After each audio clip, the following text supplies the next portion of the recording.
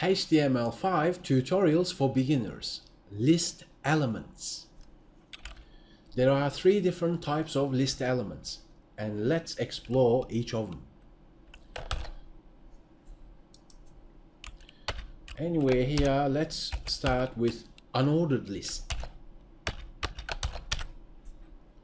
And within that unordered list tag, let's put a list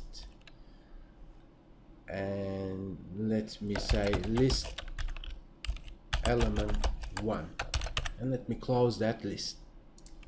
That is unordered.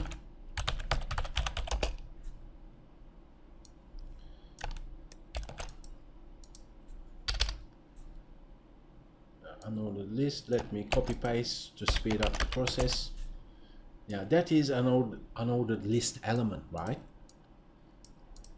And let's go and say ordered list and we do that by using OL and let's close that OL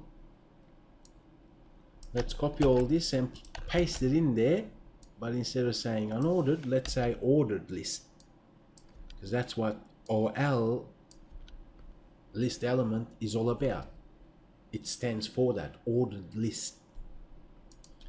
Then we have another one called DD element. Think of it as description, a DL element, I am sorry. DL, let's close the DL.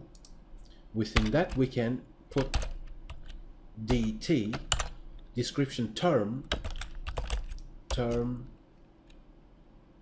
of description, let's just say that, close that under that we'll put dd description description. So we're describing the term above.